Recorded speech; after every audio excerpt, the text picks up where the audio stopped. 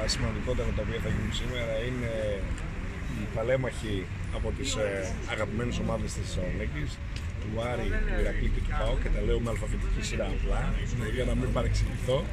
Ε, θεωρώ ότι είναι μια πάρα πολύ καλή ε, ουσιαστικά κίνηση από τη μεριά του Δήμου και από τη μεριά των Παλεμάχων φυσικά οι οποίοι δείχνουν ότι είμαστε μία πόλη, μία ομάδα και όλοι μαζί προσπαθούμε να βελτιώσουμε τις συνθήκες τις οποίες υπάρχουν μέσα, στην, μέσα στο προδοτικό ιστό. Και αυτό να καθαρίσουμε συμβολικά την μικρή Ούγγουνα.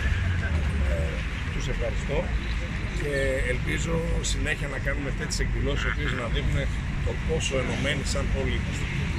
Σήμερα συμβολικά, γιατί θα πρέπει να σταματήσουμε κάποια στιγμή να γυρίζουμε την πλάτη μας στο περιβάλλον. Ε, σήμερα συμβολικά σε 7 σημεία της πόλης, εθελοντές οι οποίοι μαζεύτηκαν την περασμένη εβδομάδα θα καθαρίσουν ε, πλατείες και διάφορα σημεία.